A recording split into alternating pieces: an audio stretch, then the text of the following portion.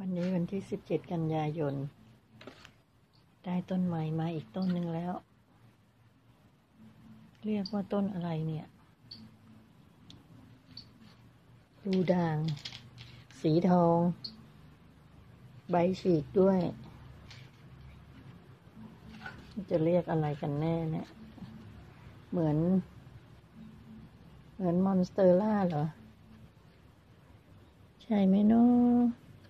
ใหญ่มาคือมาเลยอะ่ะเขาให้มา ลากเยอะแยะเลย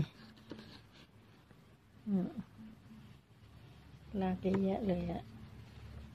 เขาตัดให้ลูกชายมา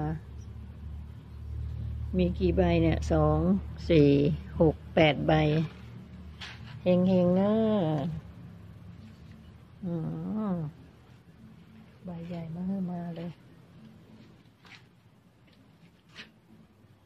อืม ใบใหญ่มากมาเลย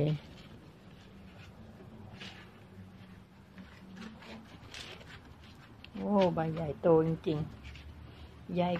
ใบใหญ่กว่าบอลกระดาษอีกอะเนี่ยบอลกระดาษอะใบเท่าๆกันเลยเนาะ บางใบมันจะหลุด้วยอะเนี่ย มันเป็นรอยฉลุนะ ไม่ใช่ขาดนะ อย่างนี้เขาเรียกฉลุเนี่ยมันไม่ขาดจากกันเขาเรียกฉลุ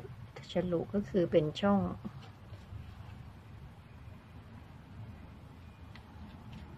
ใบอื่นไม่ฉลุเอาละ เราจะเลี้ยงดูอย่างดี โอ้โห ใหญ่จริง ๆ